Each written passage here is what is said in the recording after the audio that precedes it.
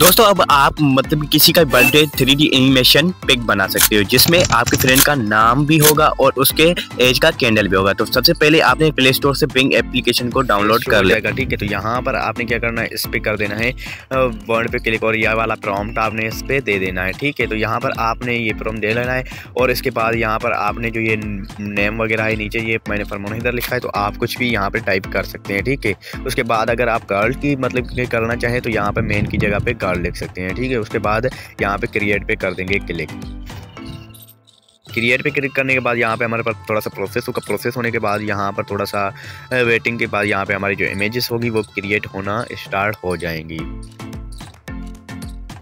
ये इस तरह से मतलब कि ये आपको चार ऐसी इमेजेस मतलब कि बहुत ही अच्छी तरीके से आपको बना के दे देगा जो कि मतलब कि बहुत ही अच्छी होंगी और एज के हिसाब से भी मतलब कि आप एज भी चेंज कर सकते हैं। तो चलते हैं अभी गर्ल्स की मतलब कि एक कर लेते हैं। तो यहाँ पर आपने इस प्रॉम्प्ट में जस्ट गर्ल्स लिखना है ठीक है?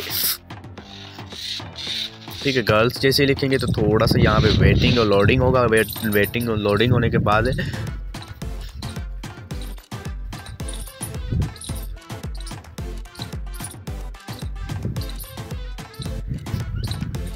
वेटिंग होने के बाद यहाँ पर मतलब कि प्यारी सी गर्ल्स वाली बर्थडे इमेजेस आ जाएँगे, ठीक है? मैंने नेम यहाँ पे मैं इसका नेम जो है वो चेंज कर देता हूँ, ठीक है? यहाँ पे इसका नेम हम चेंज कर देते हैं। ठीक है तो यहाँ पर हम नेम चेंज करके यहाँ पे इस प्रॉम्प्ट को कर लेंगे ओके ठीक है? ओके करने के बाद यहाँ पे थोड़ा सा प्रोसेसिंग होगी।